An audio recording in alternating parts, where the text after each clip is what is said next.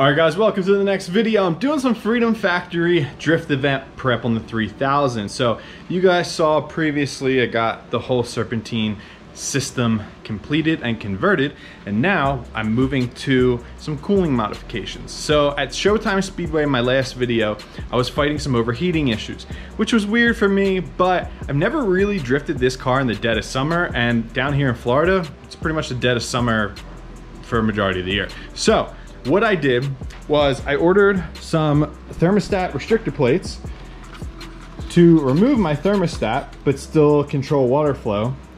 And these were the, the, ones they make are for LSs and Fords and uh, they're done by Moroso and I just took a shot in the dark. They're cheap.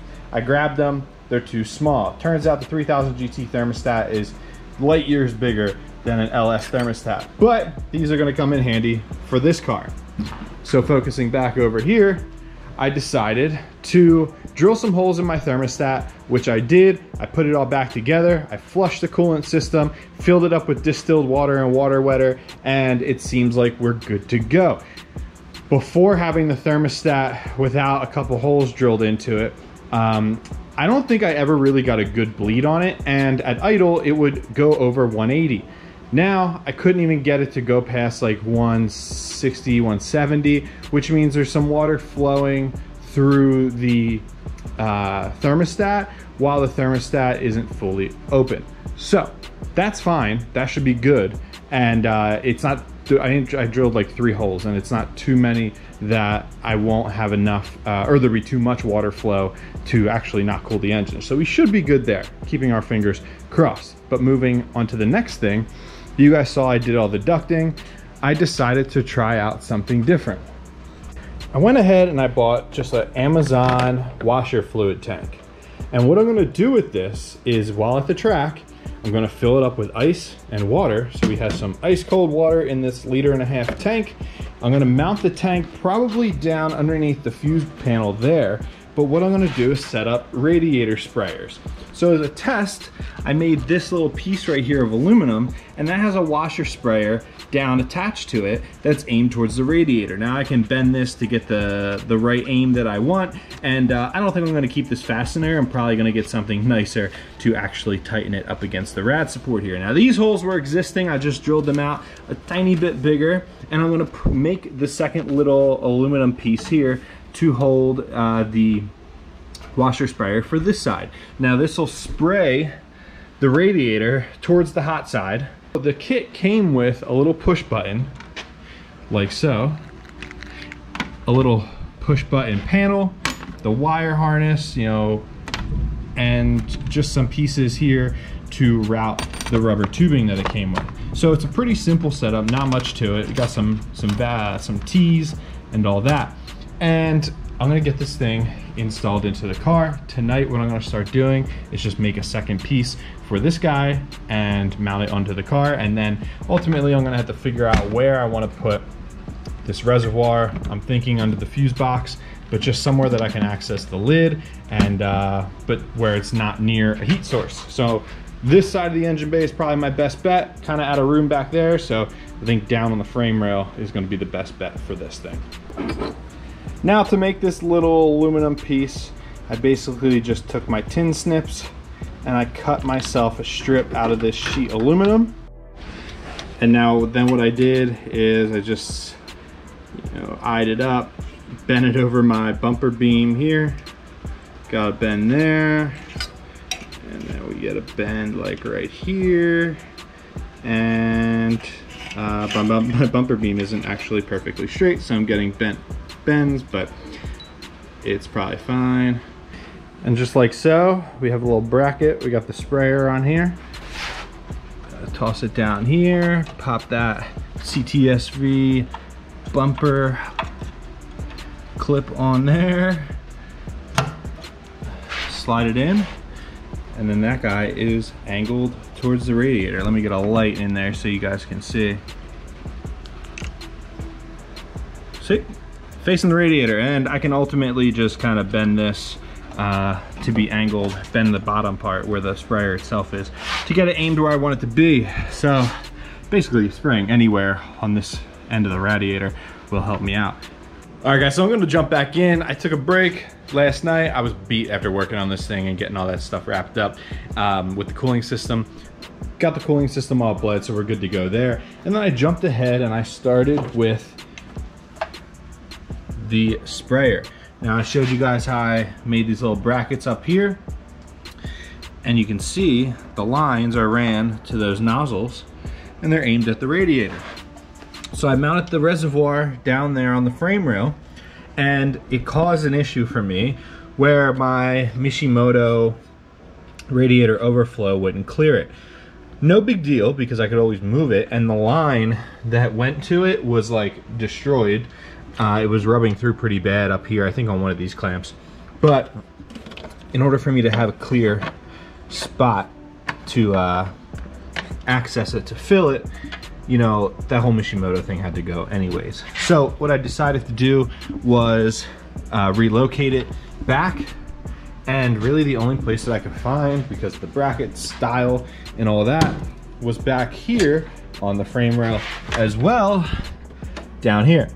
But down here was where my uh, catch can sat.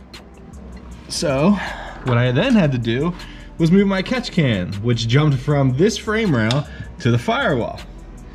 And then from there, I had to relocate the little electric sensor here for my boost gauge in the car. This sensor sucks and barely works. That's why I have the manual boost gauge that comes off of right here because uh, I was like trying to diagnose it. But I have this all mounted and you know it sits down there fine and I just ran to the, and same with the catch can. Catch can line was like this crap PVC hose that anything you order that comes with this kind of stuff just get rid of it. It was like rock solid up here or no sorry this piece that actually went onto the valve cover was like rock solid like I can't even bend it and it's just crap. It looks like crap. I mean, it looks nice when it's white and clear, but once the stuff gets some like oil going through it and some blow by, nah, it looks like crap. Me also, as a crappy car owner, forgot to empty the catch can for like a very long time and it was full of water. So, you know, empty your catch cans, kids. So I went out and I got some new hose clamps and some nice rubber fuel hose that I'm gonna use both for the catch can and for the coolant reservoir in their new homes. So I'm gonna route that and then what I'm gonna do is, I'm pretty sure there was a wire that came from the inside of the car out to here. And I just don't know where it went because I used to have an LED strip up here for like H2O one year and it was a triggered wire off of a switch in the car. I don't remember if I got rid of it, but if I didn't get rid of it and it's still maybe behind the fender or something, that'll be perfect for this washer reservoir for me to click it on and off. But what I'm gonna do is run these rubber hoses, get that part wrapped up, and then we'll finish the final step of uh, running the power to the pump and testing out the sprayer system. All right, guys, it's finally time for me to start putting this thing back together. So looking down, we got the tank wired, plumbed. We got the rad overflow tank down there, the heat, um, the catch can there. We got catch can, catch uh, rad, other catch can connection down there. This thing is all buttoned up and in a convenient location. I just gotta bolt the fuse block up and this little fan speed switch. But I have it wired to my fog switch, which is convenient because it's technically a fogger. And it sprays right under the rad. That's perfect. So end goal there is to basically just have that ice cold. I'm gonna put ice in there, water in there, the whole nine. Run that switch. Um, you know, when I'm done a run, coming back up, going through the pits, back up to grid, sitting on grid or whatever it may be. And it's gonna spray the, the hot section of the radiator right there. And I guarantee it's gonna lower temps and assist lowering temps. So I haven't driven this thing since doing the thermostat mod putting the new coolant in it and all of that. So I think tomorrow is gonna be trial day, uh, do a little street test with it, and um, you know also test spraying some water onto the uh, radiator uh, while sitting at like a red light and see what the temps do. So we'll be able to do some trial and error there and it, it should work. So I'm excited. We have about a week and a half left for uh, Till the Freedom Factory on August 13th where we will be drifting. And then Wednesday, August 4th, we have open shop night at Works Automotive in Sarasota. So me and Brandon are collaborating on that one and we're having an open shop night. So this thing will be there. I'm gonna take this down like Tuesday, Monday or Tuesday uh, after work and this will be on display at Works' open shop night. So I gotta get it all cleaned up. I'm gonna throw the RPF ones back on, my nice wheels and all that jazz, and then uh, it'll be on display there.